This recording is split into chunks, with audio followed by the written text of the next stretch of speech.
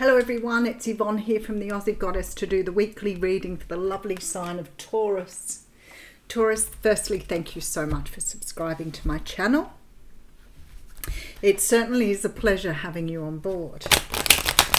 Um, thank you for all the beautiful things you do to me, for me, to me, such as, you know, all your beautiful comments, personal readings, whatever I've connected with you in the past. Thank you so much. Um, please remember though that these readings are only general readings. They may not resonate with you.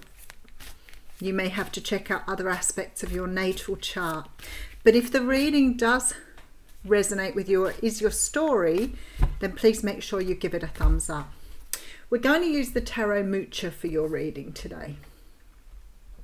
Now we have the Three of Wands coming through here. The Three of Wands is a card that talks about looking to the future. You're waiting for your ships to come in here. So it's like you've already let the universe know what you want and you're waiting for the universe to bring that to you. It's, sort of seen as waiting for a manifestation to, to sort of come to fruition, I guess. It could be that you're waiting for someone to return, you're waiting for someone to return from a holiday, even. But there is definitely this feeling here you're waiting for something to happen, waiting for a manifestation, waiting for abundance, but you're waiting. All right, so we have here the Hermit card.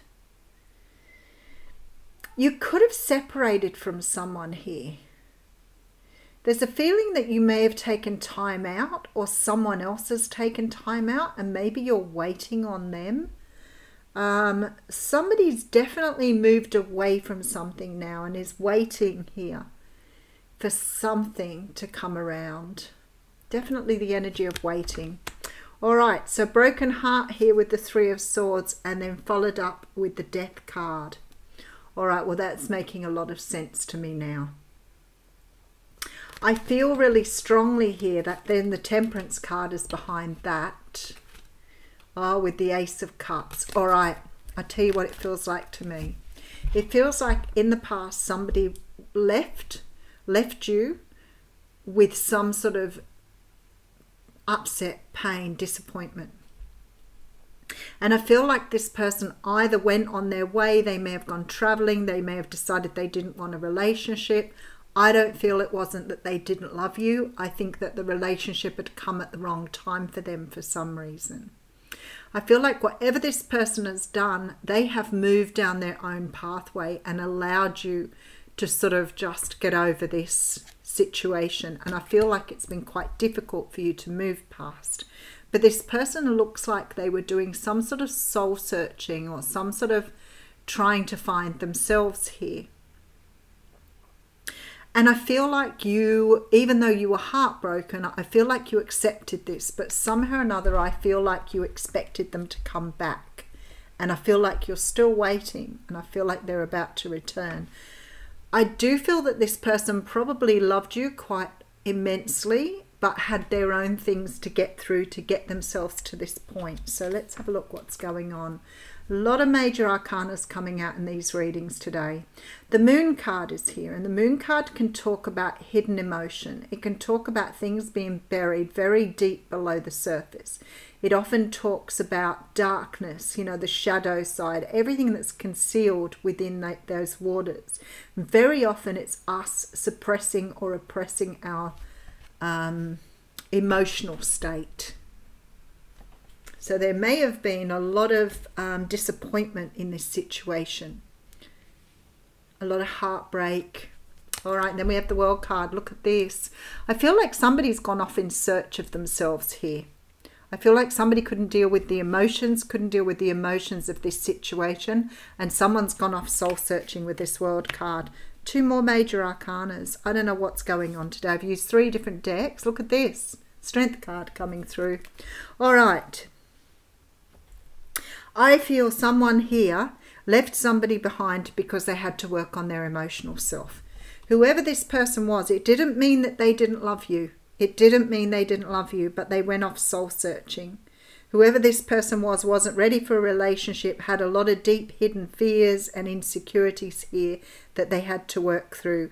I do believe this person has either traveled or has been at a distance to you the whole time, but I feel like they're coming back in because they have fronted their shadow self here.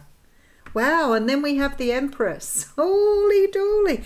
This has been happening in all the readings today.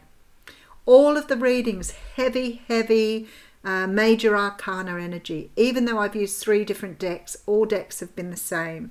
This person is stepping into their power here with the Empress.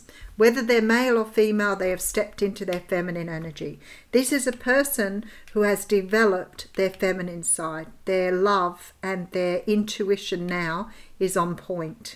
This is a person who struggled with this in the past, struggled with expressing emotion but now look at them go. So they're able to understand this because they've worked on something here and closed out this energy of not being able to well it's fears letting go of fears letting go of emotions that didn't serve them maybe even letting go of people. All right then we have the emperor coming out emperor empress here. You've got a definite twin flame thing going on here. Nine of wands two of swords there's a decision you've got to make here. And I feel like the decision very much is about do you move forward with this person now they've returned? I do think looking at this, the love is just as strong as it ever was. So it's not about the love here, but I feel that you may have moved on somewhat, especially with this Nine of Wands here, a little bit sort of overprotective of your own energy now. Let's keep going. Two of Cups coming through with the Devil card. Wow. And the Four of Swords. There's definitely some sort of indication that this will go on hold here. That somebody will need to to digest this with this Devil card here. For some unknown reason, I get this sort of energy with the Devil card where somebody is looking at the other person feeling that they were extremely self-centered and they feel let down. But there is some sort of energy here of not wanting to get hurt again, which is understandable. You two have a very strong soul connection here, though, without any doubt. There's very strong twin flame energy here. But I feel like your person had to go off and soul search. I feel that they were dealing with some very dark emotional stuff from their past, maybe even childhood energies here. Let's just have a look and get some more clarification. I feel you've been waiting for this person to return. And I do think there has been some soul searching on your behalf as well. There seems to have been some heartbreak in the past that caused some sort of transformation. But now I see this balance coming through. There's true love here, definitely. The readings today are all about unions coming back in together. This person here did not leave you because they didn't love you. They left you because they were unable to process the love they were feeling at the time. And I feel they've gone off to process their own inner worries, their own inner fears, because they were unable to process them while they were in this situation with you. There's a very strong feeling that this person never forgot you. They didn't really leave you behind, but I think they had to go out in search of what they needed to heal because there's been healing here on both sides with the devil energy, with the death energy. The devil energy makes me feel here that, you know, this person is feeling very drawn back towards you. I think there's quite an obsession here with making their way back. But I feel here that you, you've got this also this fear with this Nine of Wands that this person may not stay again. I don't think you're realizing the the love they have for you here, but they had to go to be able to heal. And there's been a strong sense of working with their shadow side here and healing that part of them that was holding them back. All right, so we have the Queen of Swords here. So you could be dealing with a Libra, Gemini, or Aquarius. There's a truth to be spoken here. There seems to be a little bit of conflict though, because I feel somebody's not really, wow, look at this, another major arcana. Somebody's not really trusting this energy. This person wants to build with you now. There may be a pro- proposal here. Could be dealing with a fire sign, Leo, Sag, or Aries. Strong Pisces energy, Capricorn, Leo. A lot of others. Libra, Taurus. There's a lot of energies here. I feel like I'm talking to a whole stack of people here. So if you're cross watching, I've definitely picked up on your energy as well. Whoever this person is has really worked hard to bring themselves to this energy. This person is coming up as a divine masculine. They've really searched inwards to be able to let go of their fears, their suppressed emotion, um, I feel like this person has probably done a lot of work on their childhood energy to release stuff. But this person is now in full manifestation mode. They're ready to start again here, but they want to build with you this time. I just feel that there's a little bit of energy here of you being reluctant to move forward here, and it may be that you'll be wanting to step back because there is this decision to make as to whether you give this person another chance. But I feel that once you've seen them, you may not even barely recognize this person. I feel that they've been through a lot here. There's a lot of this energy of working through a lot of pain, a lot of suppression, a lot of emotional turmoil. So you're dealing with someone that kept all of their emotions buried deep within them. But I feel like because they've gone on this healing journey here, they've been able to close out a lot of this emotion here.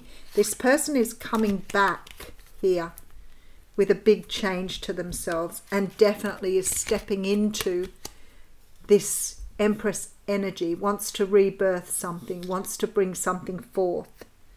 They definitely have great love for you, and I feel like they did before, but they just weren't able to express it or work with it. Maybe they've never been in love before because there's a lot of suppressed emotion here. A lot of suppressed emotion. All right, let's have a look where we're going with this. We'll get a little bit of advice from the universe here.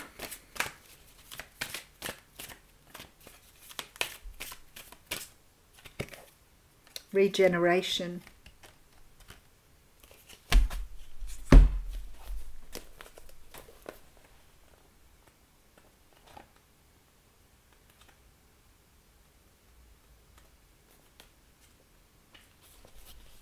This says there is rebirth, amazing, second chances, and new opportunities. Second chances are available to you now. Whatever opportunities you thought were dead are now revived in a more authentic, stronger form. Whatever you may have perceived as a failure or loss is now being replaced by something better and more powerful growing in its place. This rebirth is assured. Step into your new life. Destiny is being fulfilled in wondrous ways. The relationship message says the world is based on connections and relationships. No matter what loss has occurred in the past or even now, death and endings are only illusions. There is life after death, love after loss, and in this moment you are radiating the regenerative life force energy that makes you irresistible to love in all forms. Now is the time when you will see evidence of this new emergence. Can you feel it? Love is rising up to greet you. So there's a very strong feeling here. Whoever this person is coming back in again is now able to show you, is now able to share with you the love they feel. I'll leave you with that, Taurus. Thank you.